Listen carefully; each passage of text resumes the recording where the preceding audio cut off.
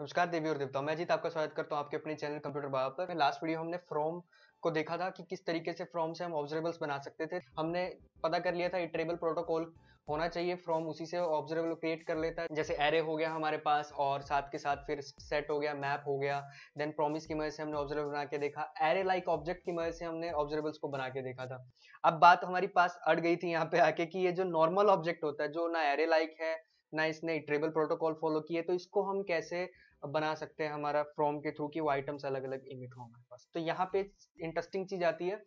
हम लोग symbol dot iterator जो प्रॉपर्टी होती है, जिसकी मदद से क्या कर सकते हैं इटरेबल प्रोटोकॉल को फॉलो कर सकते हैं, वो इस्तेमाल कर सकते हैं अपने ऑब्जेक्ट के ऊपर और देन उसकी मदद से फिर हम आइटम्स को एज ए ट्रेबल की तरह ट्रीट करा सकते हैं। कैसे मैं बताता हूँ तो मेरा जो यूज़र नाम का ऑब्जेक्ट है, इसी के ऊपर मैं क्या करने वाला हूँ सिंबल और मैं इसको नीचे की तरफ़ ले लेता हूँ, क्योंकि हम इसी पे काम करने वाले हैं। तो यहाँ पे मैं कर रहा हूँ symbol dot iterator symbol dot iterator क्या है? हमारे पास एक मिली हुई है हमें ये सिक्स की मदद से, जिसकी मदद से आप इटरेबल प्रोटोकॉल को फॉलो कर सकते हो। मैं कह रहा हूँ कि एक फ़ंक्शन होगी। अगर आपको इटरेबल प्रोटोकॉल अच्छे स्टडी करना है तो आप ई e सिक्स के बारे में जाने वीडियोस देखें। मैं यहाँ पे आपको बहुत एब्स्ट्रैक्टली बताने वाला हूँ ये चीज़। तो ये इस तरह से हुआ। देन उसके बाद मैं क्या करने वाला हूँ? जो मेरे पास कीज हैं, मेरे पास कीज हैं, मैं उनको अलग से रख लेता हूँ कि मेरे पास कौन कौन सी कीज हैं। ऑब्जेक्ट डॉट कीज जो होता है, उसकी मदद से आप कीज निकाल सकते हो। मुझे इसी ऑब्जेक्ट की कीज पता करनी है कौन कौन सी हैं। और एक चीज़ और करूँगा, मैं यहाँ पे इसको ले लेता हूँ कॉन्स्ट और यहाँ पे सेल्फ की खुद का रेफरेंस क्योंकि क्या होगा, अंदर जब कॉल होगा तो बाइंडिंग के टाइम दिक्कत आएगी तो इसलिए मैं इसको यहाँ पे सेल्फ एज दिस का रेफरेंस ले रहा हूँ। ये चीज़ अगर आपको समझ नहीं भी आ रही होगी तो तब भी कोई बात नहीं, क्योंकि ये चीज़ आपको, बस मैं बताना चाहता हूँ कि जो ट्रेबल प्रोटोकॉल है, वो कैसे इंप्लीमेंट आप वैसे तो जावास्क्रिप्ट में पता होता है, बट ये सिर्फ़ दिखाने के लिए है कि कैसे ये चीज़ें इस्तेमाल होती हैं। देन यहाँ पे मैं करने वाला हूँ कॉन्स्ट वैल्यू और वैल्यू मुझे निकालनी है सेल्फ मैं इस तरह से कुछ करूँगा या फिर कीज के अंदर जाओ काउंटर में इससे हमें की मिल जाएगी जो भी हम गेट करना चाह रहे हैं। देन उसके बाद कॉन्स्ट वैल्यू इसको मैं कर देता हूँ प्लस प्लस कि हर बार बढ़ता रहे, फिर सेल्फ सेल्फ में से वो जो की हमने निकाली है उसकी वैल्यू और यहाँ पे नो इम्प्लिसिट एनी का ये एरर दे रहा है। इसको हम लोग फॉल्स कर देते हैं, ताकि दिक्कत ना दे। और इसको लेना होगा हमें लेट ऐसे करके। फिर हम कर सकते हैं कॉन्स्ट डन कि अगर मेरा जो काउंटर है, वो बड़ा हो जाता है, इसकी जो कीज की जो हमारे पास वैल्यू है कीज की लेंथ जो है, उसके तो यानी कि हमारा काम हो गया। देन सिंपली रिटर्न क्या करना है? एक ऑब्जेक्ट जो जिसके अंदर वैल्यू होगी और एक डन नाम से हमारे पास ये चीज़ होने वाली है। अगर आपको नहीं समझ आ रहा क्या हो रहा है, बस इतना कहूँगा कीज हमने एक्सट्रैक्ट कर ली देन सेल्फ रेफरेंस स्टोर कर लिया। उसके अंदर होना क्या चाहिए कि रिटर्न करता है एक ऑब्जेक्ट को और उस ऑब्जेक्ट के अंदर हमारे पास नेक्स्ट फ़ंक्शन होता है और वो नेक्स्ट फ़ंक्शन ये मतलब स्टैंडर्ड है, ऐसे ही लिखना होता है हमें इस तरीके से।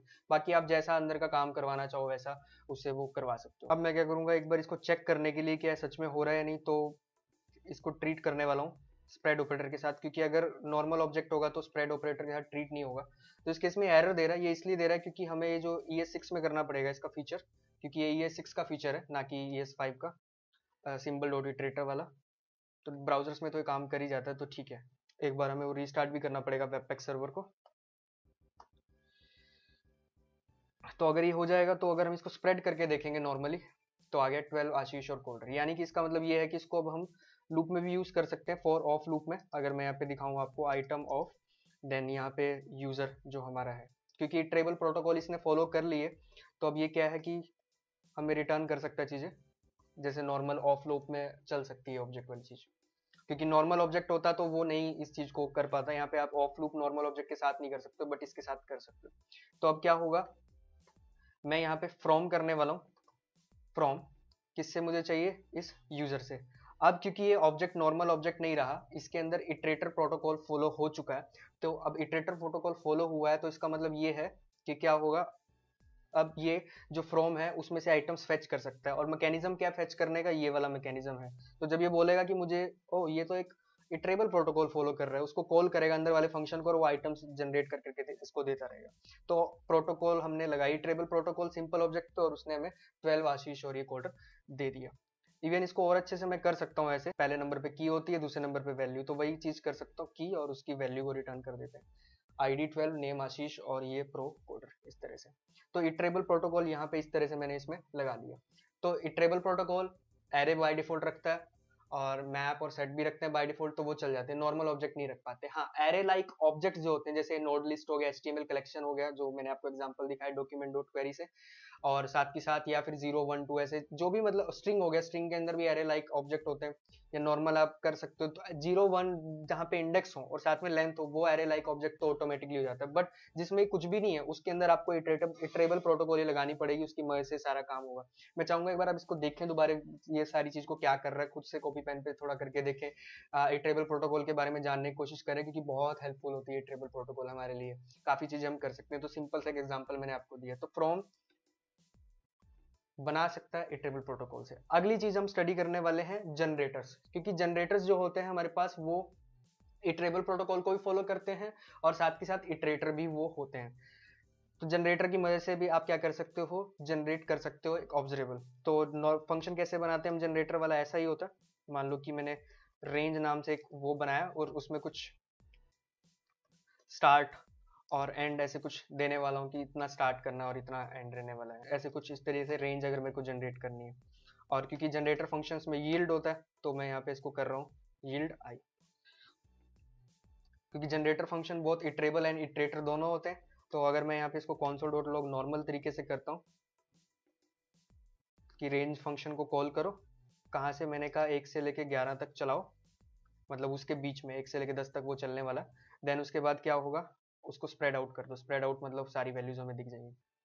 वन से टेन तक दिखी तो ये वाला काम ये खुद भी कर सकती है ऑब्जर्वेबल अगर आप इसको कोई जनरेटर दोगे तो इसने रेंज में कॉल करा खुद को और उससे एक इटरेटर आया या फिर इटरेटर आया तो इसने ऑटोमेटिकली मतलब इटरेबल प्रोटोकॉल जो भी फॉलो कर रहा है, ये उसको दे सकता। है उसी से जनरेट कर सकता है वैल्यू तो सीक्वेंस हमारा जनरेट हो गया यहाँ पे अलग अलग ऑब्जर्वेबल आ गई, एक ही बार इकट्ठी नहीं आई।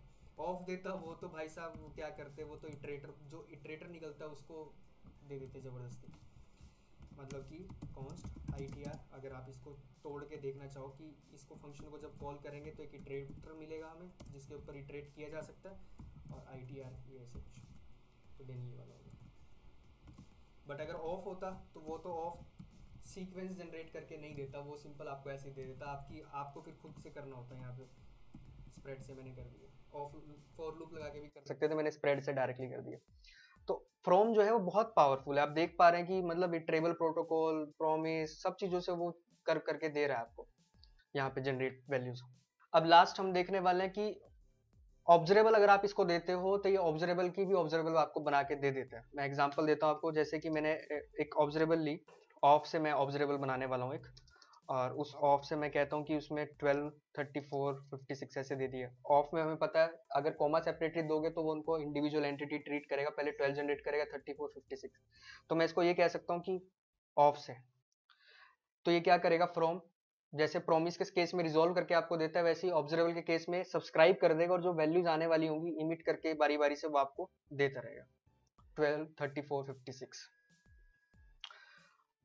अगर यहाँ पे होता फ्रॉम तो फ्रॉम तो ऐसे नहीं चलता, इसको मैं एरे में ले लेता हूँ। तो ये उन तीन आइटम्स को जनरेट करेगा। तो नीचे वाला जो फ्रॉम है, वो उसको सब्सक्राइब कर देगा ऊपर वाले को। तो ऑटोमेटिकली वो आइटम्स आपको मिलती रहेंगी। तो ऑब्जरेबल का ऑब्जरेबल से भी आप क्या कर सकते हो? एक तरह का जनरेशन कर सकते हो। प्रॉमिस ऑब्जरेबल से एरे लाइक ऑब्जेक्ट हो गया।